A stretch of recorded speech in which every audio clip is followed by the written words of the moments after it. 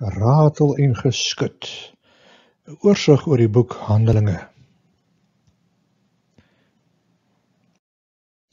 Ek onthou hoe ek partykeer rondgeblaai het op soek na 'n Bybelgedeelte wat die dominee wou lees. Veral as dit iewers in die Ou Testament was. Waar vind mens nou weer Amos of Habakuk of Sagaria of Tessalonisense? Partykeer moes ek gou in die inhoudsopgawe van die Bybel gaan loer, anders blaai ek heeltyd verward rond op soek na die gedeelte terwyl die res van die gemeente aanlees. Party Bybels het sulke lekker vingerholtes waar die eerste paar letters van 'n boek se naam geskrywe is, sodat mens vinnig by 'n sekere boek kan uitkom. Maar die meeste van ons het waarskynlik nie 'n probleem om die boek Handelinge te vind nie, reg na die eerste 4 evangelies. Ons lees vandag die hoofstuk net voor Handelinge uit Matteus 28. Dit word ook genoem die handelinge van die apostels of die handelinge van die Heilige Gees. Acts in Engels. En is goed genoem want dis 'n boek van stories, dade, goeters wat gebeur. Dit bevat die aksieverhale van die manne en vroue wat in die vroeë dae van die Christelike kerk ongelooflike dinge beleef het. Nie net is hulle lewens getransformeer nie, maar ook almal met wie hulle in aanraking gekom het. Hulle was die eerste aksiehelde van destyds. Al het hulle nie spesiale mantels of oorpakke gedra soos Superman of Batman of Iron Man nie. Hulle was doodgewone alledaagse manne en vroue wat vervul is met die wonderwerkende krag van die Heilige Gees en hulle dade het weer klink vir generasies daarna sodat ons vandag nog daarvan lees. Hulle manhaftige gehoorsaamheid en getrouheid het die eerste kerk gevorm en die destydse wêreld omgekeer. As gevolg van hulle daar in aksies het hulle dit moontlik gemaak dat ons die boodskap van Jesus gehoor het meer as 2000 jaar later. Wat verbasend is, is dat die mense van Handelinge niks spesiaals was nie. Hulle was heel doodgewoon net soos ons. Inteendeel, hulle was die laaste mense op aarde van wie ons dit sou verwag om enigiets reg te kry. En tog was hierdie groepie mense uh deur God vertrou om God se boodskap deur die hele wêreld te versprei. Baie van hulle het gewandel met Jesus, die seun van God, en aan sy voete gesit, by hom geleer as hy praat en sy wonderwerke aanskou. En het hierdie ding wat ons geloof noem reg verstaan, nie waar nie? Partykeer wens ek ek was in hulle skoene gewees, want dan sou ek nooit getwyfel het nie en alles verstaan het. Maar nee, hulle het dit ook nie verstaan nie. Hulle persepsies van wat die Messias sou kom doen is gevorm deur hulle kultuur. En hulle visie van hoe om God te aanbid is gewortel in hulle lewenslange Joodse tradisies. Hulle was gewone mense wat die trauma van hulle meesters se marteling en kruisdood intens beleef het. En hulle het met al die menslike emosies en hartseer geworstel te midde van hulle eie geloofskrisis. Die opstanding was natuurlik onverwags vir hulle, 'n ongelooflike tyd van vreugde, verwarring en nuwe geloof. Maar die Bybel was nog nie geskryf toe hulle geleef het nie. Hulle het nie geweet wat in die volgende hoofstuk sal gebeur nie. En elke dag was vir hulle avontuur waarin hulle moes leer om gehoorsaam te reageer, selfs al was die volgende tree onduidelik. Hulle moes handel en hulle nuwe geloof en vertroue in Jesus in aksie omsit. Een tree op 'n slag. Experience is what you get when you don't get what you want. Net iemand 'n uh, tong in die kies gesê. Hoeveel van ons het dit nie al beleef toe ons moes aanpas in die buiteland nie? Geen boek of kursus kan jou voorberei vir die unieke uitdagings waarmee jy te doen sal kry nie. Miskien moet 'n mens na die tyd so 'n boek skryf. Experience is not what happens to you, it is what you do with what happens to you. Ons was hierdie somer weer eens onder die indruk van die totale andersheid van ons herkomsdoer in verre Afrika. En ongelooflik anders dit is om kruiskultureel in die buiteland aan te pas. Gedurig moet mens nuwe boksies maak om die ervarings in te pak. En die mense tuis gaan dit net nie kan verstaan nie, selfs al vertel jy vir hulle in geur en kleur van jou avonture.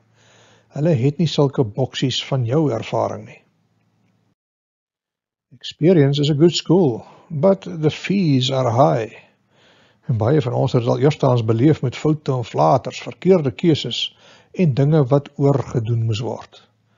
Party van ons dra letsels en littekens van die ervarings wat ons op die harde manier opgedoen het. Hoopelik het ons geleer daaruit.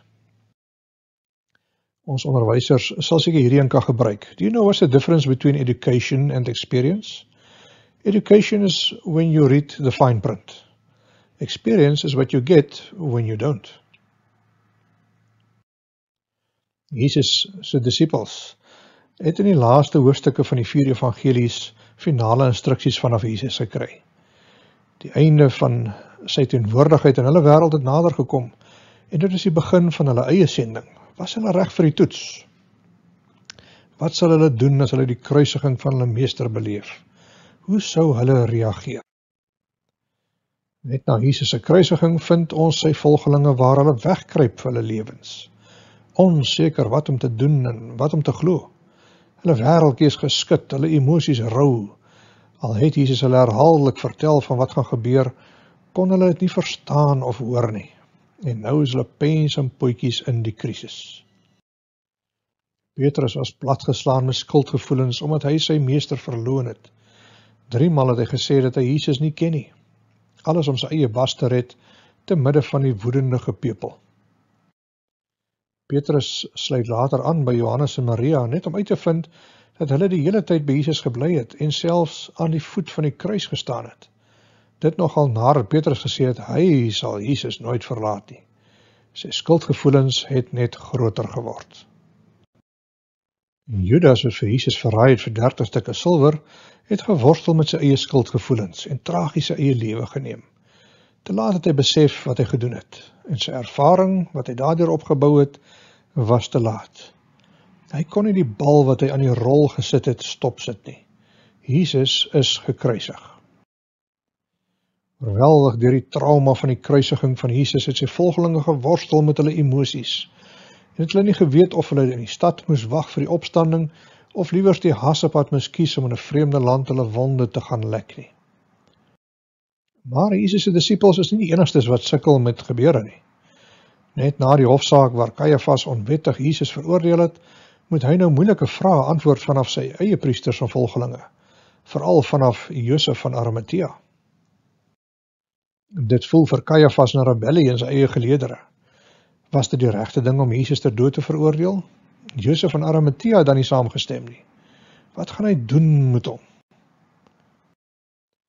Josef was jammer vir Jesus en sy familie en het vir Pilatus gaan vra vir sy liggaam sodat hulle 'n ordentlike begrafnis vir hom kan hou. Hy het die guts en wasta en invloed gehad wat vir hom toegang gegee het na Pilatus, die Romeinse heerser. Deur Jesus se liggaam as eie graf te gaan begrawe, het Josef onwetend die profesie van Jesaja vervul wat sê dat die Messias selfs met die rykes begrawe sal word.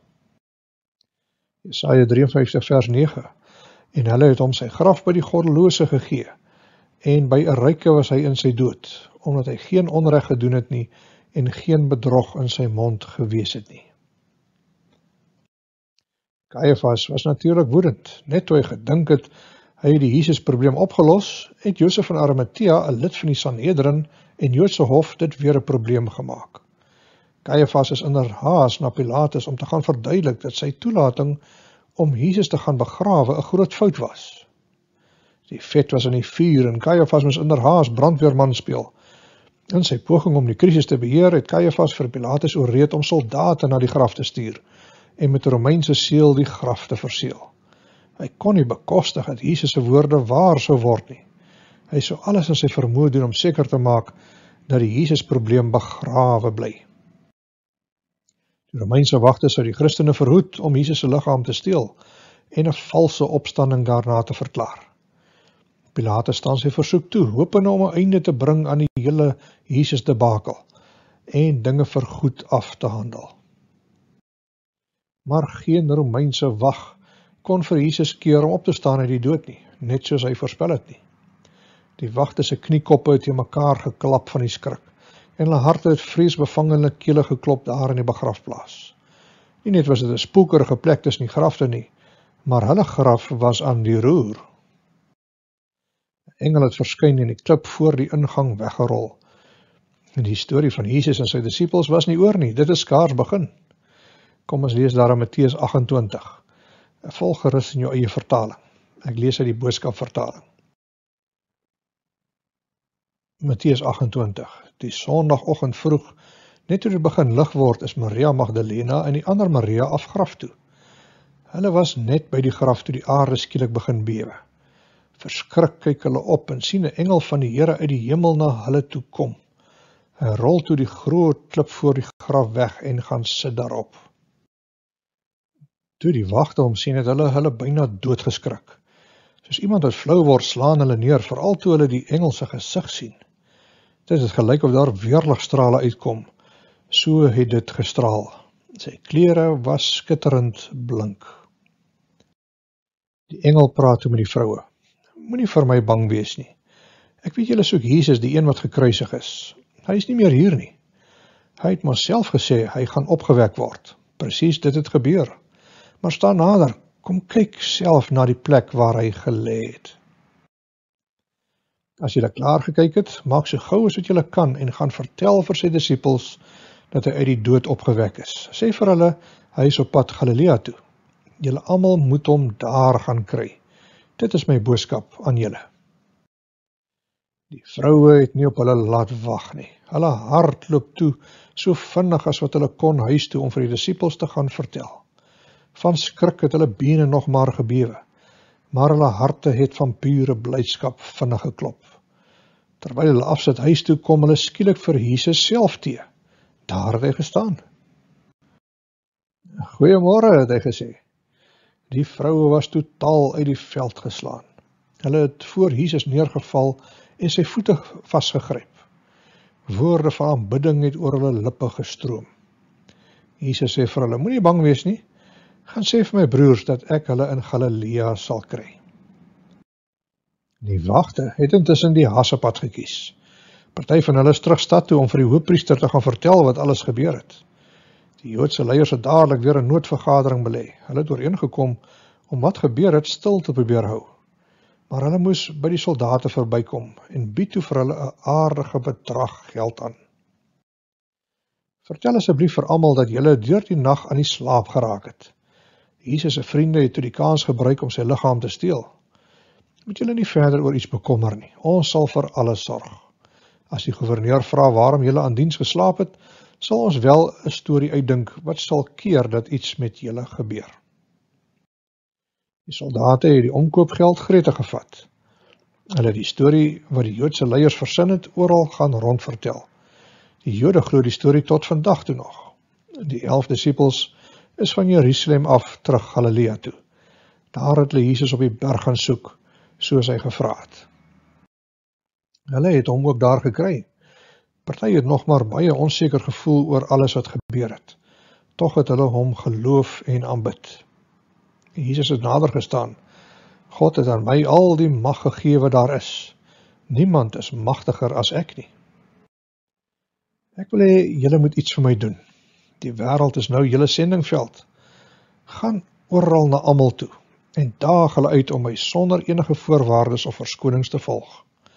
As hulle bereid is om my met hulle hele lewe te volg, moet julle hulle doop op gesag van die Vader, die Seun en die Heilige Gees.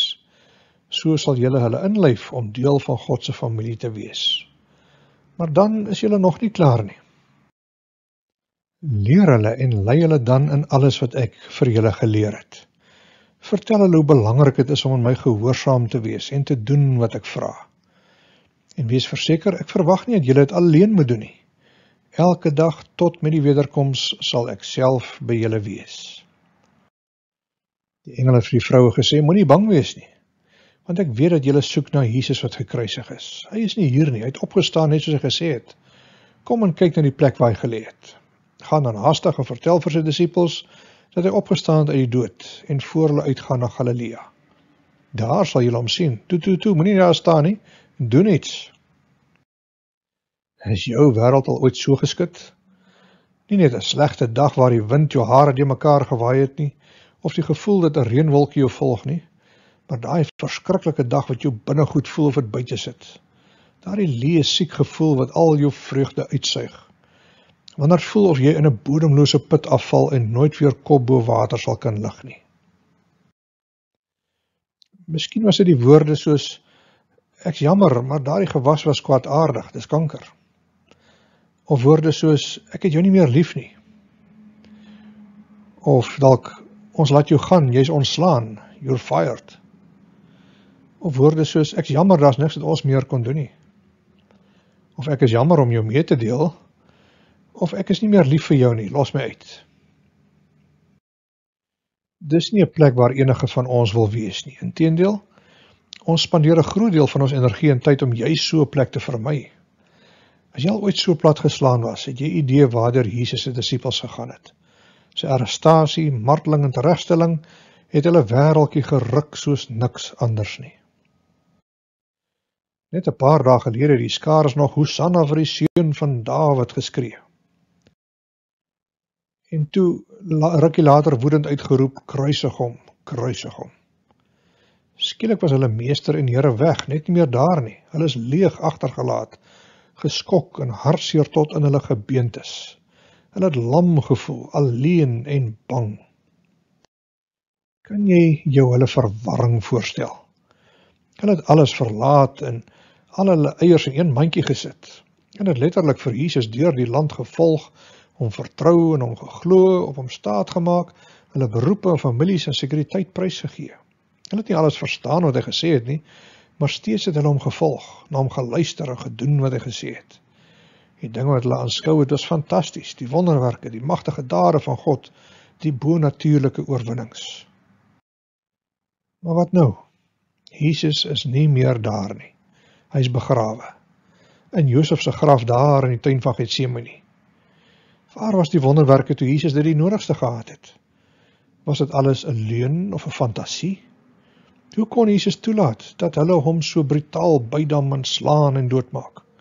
Hoe kon hy so magteloos wees? As hy die Messias was, hoe sou dit dan nou dat hy dood is? Jesus se volgeling was verbuisterd, hulle emosies verinneweerd. Hulle harte was absoluut gebreek. Hulle hoop het in stukkies gelê. Dit was die einde, daar was niks meer oor nie. As dit die einde was, sou ons uitgemis het op 'n baie opwindende boek, die volgende hoofstuk van wat sou gebeur. Die boek Handelinge is nie 'n geïsoleerde storie nie. Dit beskryf die gebeure oor die begin van die kerk en hoe dit die hele wêreld beïnvloed het. Dit is 'n voortsetting van die evangelies en hulle uitlewing van Jesus se invloed op hulle lewens. Handelinge is die storie van die eerste volgelinge van Jesus en hoe hulle die realiteit van 'n gekruisigde en opgestane Jesus hanteer het. As ons Handelinge se oopmaak, moet ons dus terugkyk na wat vooraf gebeur het. Net soos Lukas die skrywer van Handelinge uh begin Handelinge met die woorde van Lukas. Die eerste verhaal Theophilus het ek opgestel oor alles wat Jesus begin doen en leer het tot op die dag dat hy opgeneem is nadat hy aan die apostels wat hy uitverkies het deur die Heilige Gees bevele gegee het. Selfs al het Jesus met sy volgelinge gepraat oor wat sou gebeur, het hulle dit nie verstaan nie en was hulle nie voorberei vir die realiteite wat hulle in die oë gestaar het nie. Kom ons kyk na twee van sy volgelinge en hoe die lewe anders uitgedraai het vir hulle as wat hulle verwag het. Petrus was altyd in die middelpunt van waar dinge gebeur het. Hy het Jesus gevolg soos hy sy lewe geleef het, met passie en totale oorgawe. Petrus was die disipel wat eers gedoen het en later gedink het. En dikwels moes hy sy woorde sluk en dikwels het hy sy mond verbygepraat. Hy was die impulsiewe visserman wat sommer teen sy beter wete uit die boot geklim het en op die water begin loop het soos Jesus. Maar Petrus was ook een van Jesus se binnekring disippels en hy het die ongelooflikste dinge in sy lewe gesien kort voor Jesus na Jerusalem gekom het vir sy finale dae, het hy drie van sy disippels saam met hom geneem na 'n berg. Daar het Jesus voor hulle oë verander. In sy gesig het soos die son geskyn, sy klere was skitterwit. Moses en Elia het ook hulle opwagting gemaak en met Jesus gesels. Asof dit nie genoeg was nie, het hulle nog die stem van God die Vader ook gehoor praat. Terwyl hy nog so staan en praat, het 'n helder wolk hulle skielik omring. Toe sien daar 'n stem in die wolk. Dit is my seun vir wie ek baie lief is. Wat hy doen verskaf my groot vreugde. Luister na wat hy vir julle sê. Toe die drie disippels hierdie stem hoor, het hulle hulle mors doodgeskrik. Hulle het plat op hulle gesigte neergeval. Praat van 'n bonatuurlike belewenis. Petrus, Johannes en Jakobus was stom geslaan. Watter bew beter bewys kon hulle gevra het of Jesus regtig die seun van God was? Hoe kon hulle daarna ooit weer twyfel? Maar hulle het, veral Petrus, hierdie sterk rowwe diamant van 'n disipel het baie vrese gehad. Toe dinge buite beheer begin tol en die saak rof geraak het vir sy persoonlike veiligheid, het hy Jesus 3 maal verloon in die teenwoordigheid van die gepeupel by Kajafas se huis. Hoe kon hy so iets doen na alles wat hy gesien en geglo het? Nadat hy gesê het dat hy Jesus nooit sou verlaat nie, selfs al hardloop al die ander weg. Petrus het groot oomblikke van geloof gehad. Maar as sien ek hoe vrees hom platgeslaan het toe die onverwagte gebeur het. Daarna was Petrus mank van skuldgevoelens omdat hy Jesus in die steek gelaat het. Sy swakheid was oral bekend. Sy laagtepunt was so laag dat ons dit duisende jare later nog steeds verlees. Hy het presies gedoen wat hy gesê het hy nie sou doen nie. Petrus is vernederd. Terwyl sy hart getreur het oor die verlies van sy meester, het sy kop hom daarin herinner dat niemand vir Jesus meer blaatant in die steek gelaat het as juis hy nie. Hoe baie kere moes Petrus nie gewens het dat hy kon teruggaan en die sekere insidente kon uitvee nie. Petrus was verlore en alleen in 'n donker wildernis van skaamte. Hy was 'n gebroke man.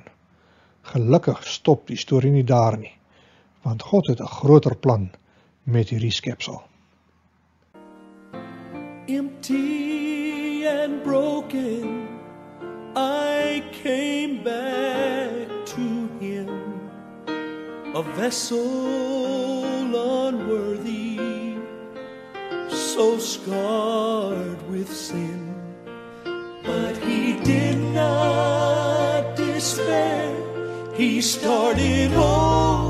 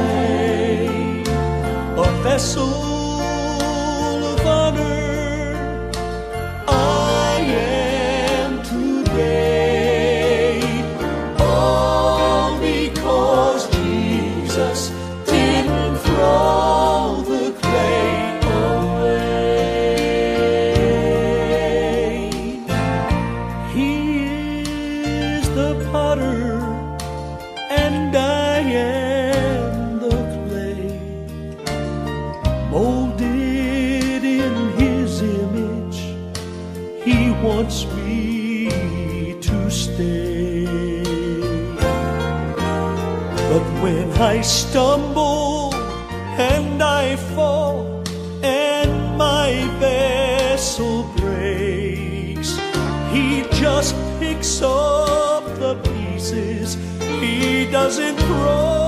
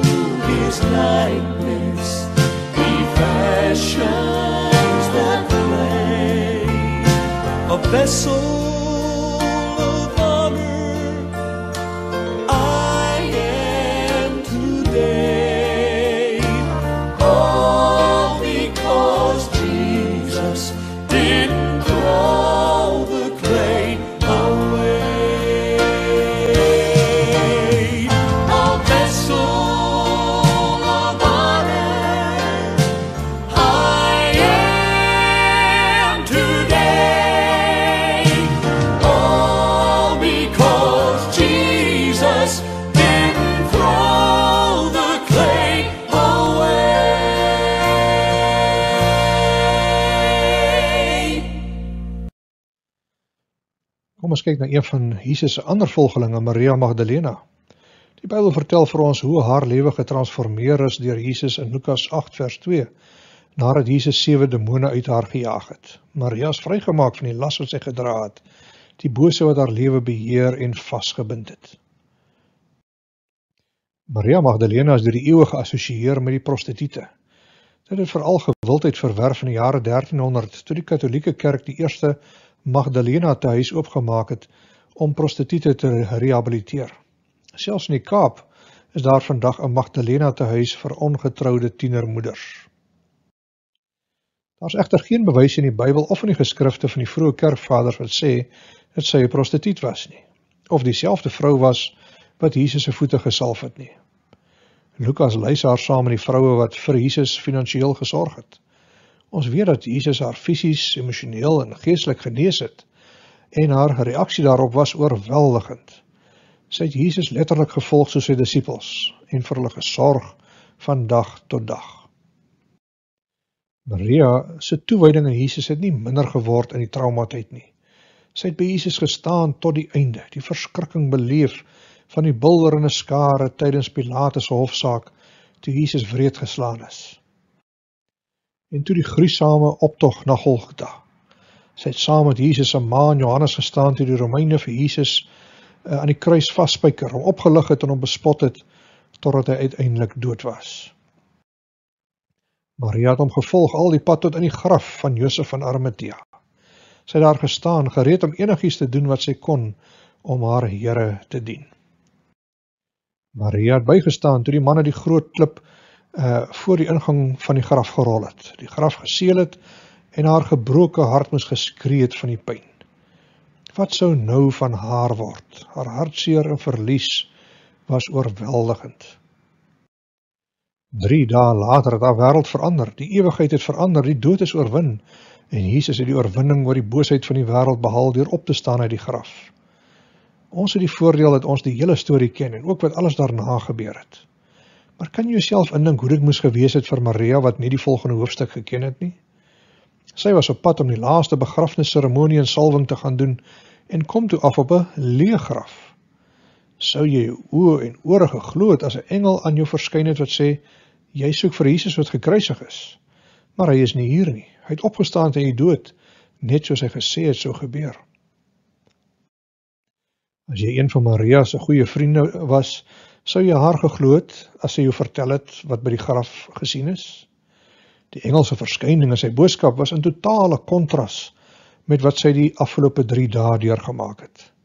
Geen wonder dat die vroue oor die graf baie bang was nie, maar ook gevul is met groot vreugde nie. Hulle het gehardloop om die engelse boodskap aan die disippels te gaan aflewer. Jesus lewe, Jesus lewe, die kruis was maar net die begin. Die hoop vir die hopelose het deurgebreek. En dis presies wat Jesus vandag nog vir ons wil doen. Wat van jou?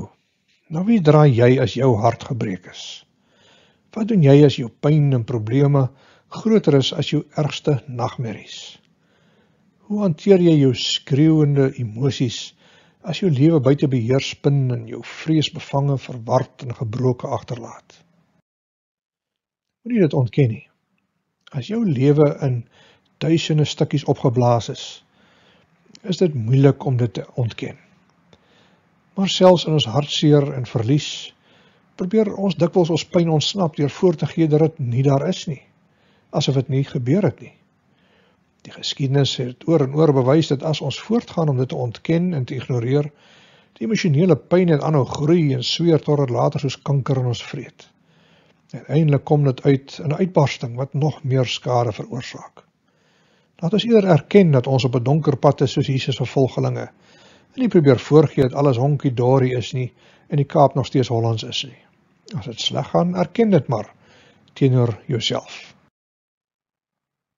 Die goeie nuus is dat ons nie alleen op ons eie is in die proses nie. God weet en hy verstaan. Hy wil jou graag vertroos en bemoedig. Bring dit alles vir hom God can do wonders with a broken heart if you give him all the pieces. Die Bybel is vol herinneringe aan ons om nie bang te wees nie. Jesus self het baie keer gesê. Johannes 14. Julle moet nie ontsteld wees nie. Julle moet nie bang wees nie. Jesus se woorde is woorde van aanmoediging. Hy weet dat vrees ons natuurlike reaksie is wanneer ons nie verstaan wat aangaan nie. En nie kan sin uitmaak van wat nou gebeur nie, wanneer alles uitmekaar uitval. Maar dit is ook 'n aanbod van God se bonatuurlike omgee en genesing wat ons kan uitlig uit ons diepste pyn en vrees. Verruil die vrees of pyn of woede of twyfel of verwarring vir God se beloftes. God is groot genoeg om ons emosies te kan hanteer. So sê maar reguit vir hom wat jy voel. Die psalms is vol van voorbeelde van musikante en skrywers wat hulle rous die emosies teenoor God uitgeblaker het. Let God's promises shine on your problems, het Corrie ten Boom geskryf nadat sy deur 'n Duitse konsentrasiekamp is. Die Bybel is gevul met God se woorde van aanmoediging, beloftes van krag en hoop en vertroosting. Mediteer op sulke verse en refokus jou lewe deur jou pyn te vervang met die beloftes van God. Laat dit wees soos medisyne vir die siel. Mag God se beloftes en omgee 'n werklikheid raak vir jou. Psalm 34: Die Here is naby die gebrokenes. Hy help die moedeloses. Spreuke 3: Vertrou volkom op die Here en moenie op jou eie insig te staat maak nie. Ken hom in alles wat jy doen en hy sal jou die regte pad laat loop. Jesaja 55. My gedagtes is nie julle gedagtes nie en julle optrede nie soos myne nie, sê die Here. Soos die hemel hoër is as die aarde, so is my optrede verhewe bo julle optrede en my gedagtes bo julle gedagtes. Hebreërs 13. Jesus Christus is gister en vandag dieselfde en tot in ewigheid. Afhangende van wat jou omstandighede is, kan dit iets kleins wees soos 'n nuwe asemteug of iets om te gaan eet of om op te staan uit die bed. Neem die volgende tree. Vir die meeste van ons is dit om aan te gaan met ons normale rotines van die lewe en om te konnekteer met die mense vir wie ons lief is en omgee. Vir die disippels was dit om saam te kook in 'n bovertrek soos hulle gewoonlik by mekaar was. Dan was hulle ten minste nie alleen in hulle verdriet nie. Vir Maria Magdalena en party van die vroue was dit om steeds vir Jesus te versorg deur sy liggaam 'n behoorlike begrafnis te gee met balsembehandeling.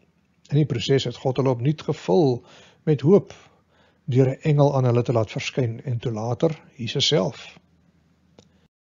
Hoe reageer jy as die lewe die matjie onder jou voete uitdruk? Wanneer iets onverwags gebeur? Verplaas jou vertroue en geloof na God sodat hy vir jou kan help om dinge duidelik te sien. Al kan jy die volgende hoofstuk sien nie, laat hom toe om dit met jou te skryf. In die komende weke gaan ons kyk na hoe die volgelinge van Jesus se lewe verander is deur die opstanding en watter impak hulle op die wêreld gehad het. Doodgewone mense soos ons, maar hulle lewensverhale word 2000 jaar, jaar later nog steeds vertel. Mag jou storie ook so geskryf word dat jou nageslagte sal kan vertel van wat jy alles gedoen het as die volgeling van Jesus. Here, dankie dat U in beheer is van ons lewens. Dankie dat ons nie verras hoef te wees as dinge anders verloop as wat ons verwag het nie. Dankie dat daar waar ons einde sien, U die begin sien van iets nuuts. Wys vir ons hoe ons U disippels uh kan wees en hoe ons kan reageer teenoor die lewe se omstandighede met ons skuld en ons sekerheid en twyfel en verwarring. Geef ons die moed om U te vertrou en help ons om te lewe met die hoop wat U vir ons sal bring. Amen.